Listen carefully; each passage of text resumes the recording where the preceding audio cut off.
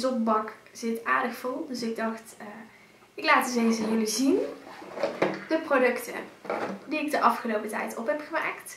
En dit zijn dus producten die ik gewoon echt, meeste vond ik dus ook echt super fijn. Want ja, anders maak ik ze niet op. Zo simpel is het. Dus uh, vandaar dat ik ze met jullie door wil nemen. Dus laten we beginnen. Allereerst deze scrub van Rituals. Ja, ik zal even opzoeken uit welke... Ja, die kleur die zegt wel uit welke lijn die is. Geloof ik iets met allemaal of zo. Uit mijn hoofd. Maar uh, ja, hij is echt helemaal op. Dus, helaas. Het was echt een fijne, fijne zoutscrub. Uit mijn hoofd was het een zoutscrub, denk ik. Lekker grof en uh, heerlijk. Dan het volgende product. Nou ja, product. Product. Product. Ik kan zo nog even doorgaan. Want ik maak dus flink wat nagellak remover op. En uh, nou zoals je kan zien van allerlei merken.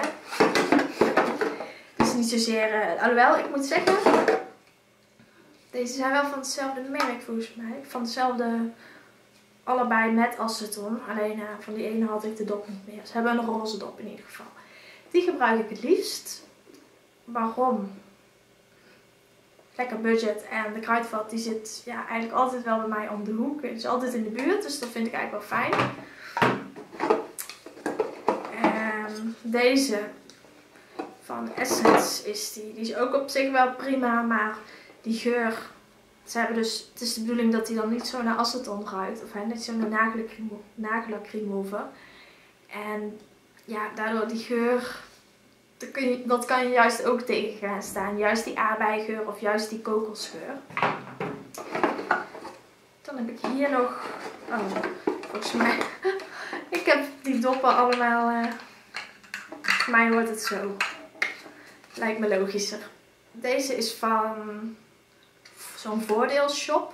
Die, die, was ook prima, niks mis mee. En uh, deze van Ethos ook prima.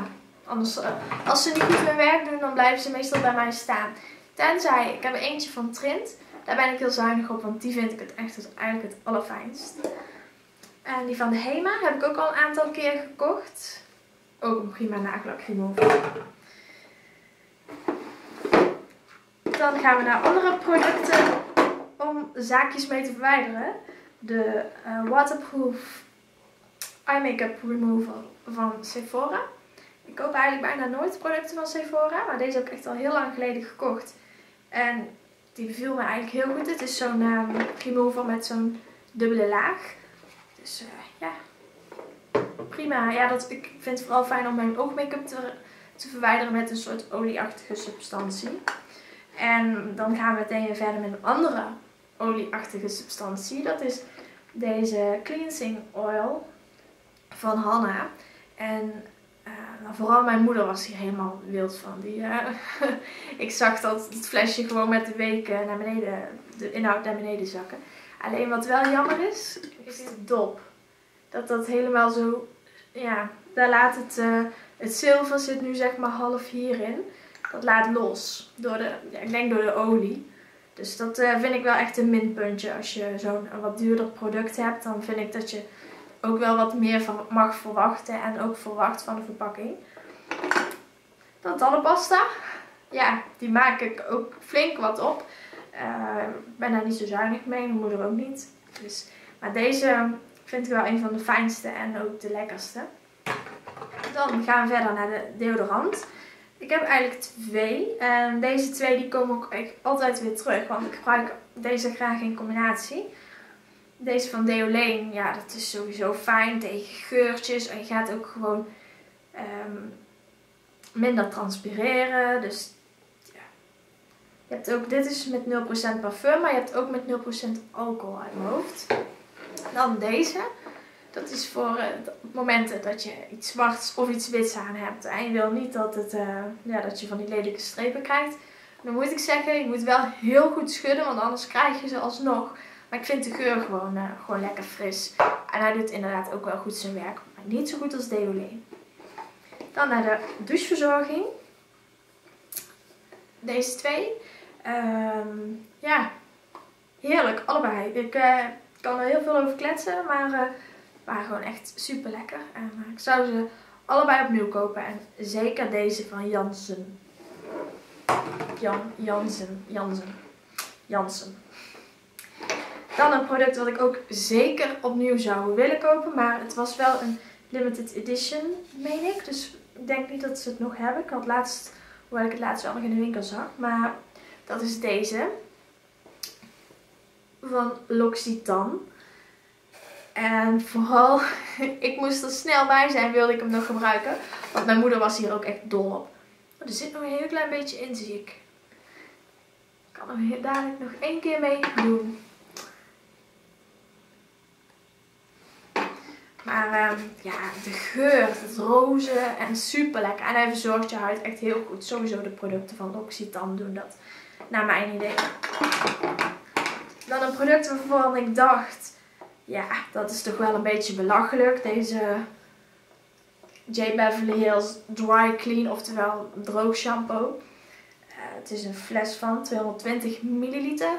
Niet bijzonder veel en het kost iets van 30 euro. Ik denk, ja, voor droog shampoo, ik denk die bussen die, die vliegen er bij mij doorheen.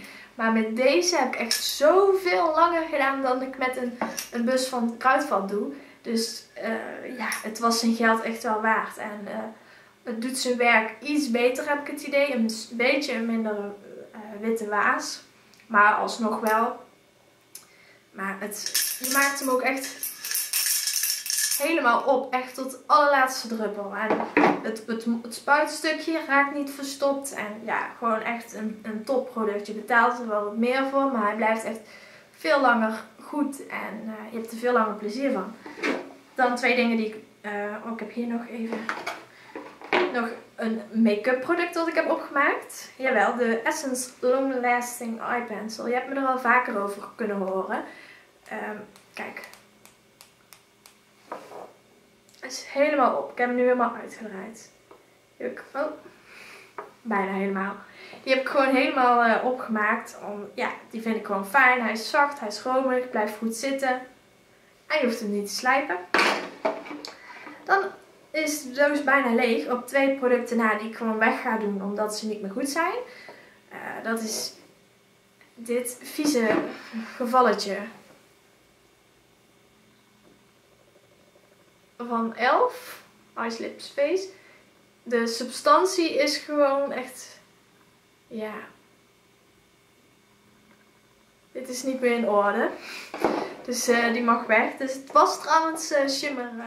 Maar zodra een product gaat schiften of, of iets met een substantie, dan kun je beter weggooien natuurlijk.